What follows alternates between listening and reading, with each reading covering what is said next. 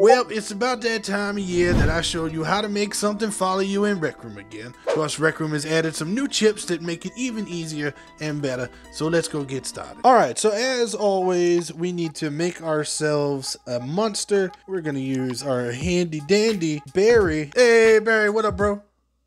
Alright, fine. Rude. Go ahead and configure yourself a Barry. Give him a tag. Call him Barry this time add that tag. Then you want to scroll down, make sure you can modify with circuits. Now on to circuits. Start off with a rec room object, get first with tag. Gonna put in that same tag here that we gave Barry, which for us is Barry. And now we want to get ourselves a event receiver set to 30 hertz. So now for a bit of networking. Now in the past, we kind of always got like room authority, but we're to get the actual person who is the authority of the object, which is Barry. This is to end up being the person whose system we are running the circuits through. That way it's not running through everybody's system and it's not confusing Rec Room on where it needs to go. Now, in order to make Mr. Barry over here move, we need a set transform. Our target, what we want to move is going to be Barry. Now the new chips that they've added are to be for position, but rotation is going to be the same. Let's go ahead and get it to follow the closest player. The origin is going to be Barry's position, so we need to get position. Now for the targets, I'm going to use get all players, but if you wanted to have it only chase players with a specific role, you can use get all players with role. So in previous versions, what I would do is subtract the position of the closest player from the position of Barry and then use that difference, slice it into tiny little bits, and then add that little tiny bit to the position of Barry, and then use that for his new position.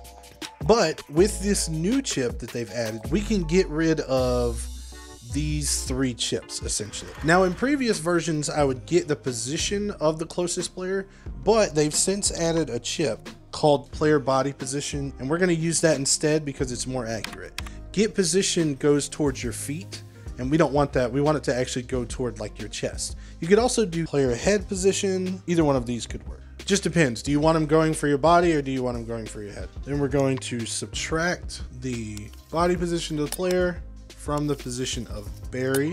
That's going to give us a vector that's pointing toward us.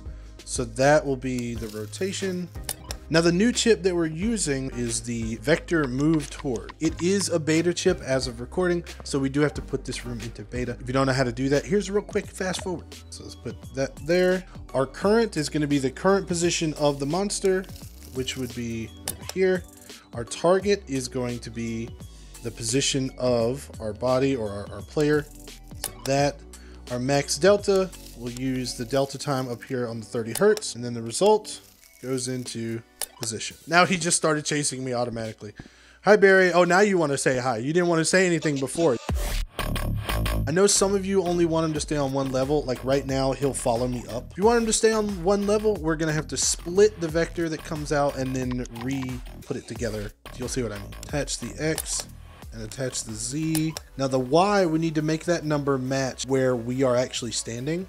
So if we go over to body position, that's 0.807. We'll just use 0.8. So now that it's there, there we go. Oh, he's a little low.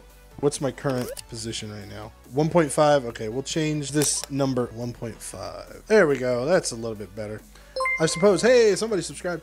I suppose you could also, instead of using that delta time. If you wanted to speed him up a little bit, I think you could just multiply the delta. And let's multiply it by two. That should make it two times as fast. Yeah, he's definitely faster. Make sure to support me on Rec Room or use code RCL1. I know that we've got progression now in Rec Room. We've got uh, pathfinding that's coming. We have Holotar's V2. We have all sorts of cool stuff to look forward to.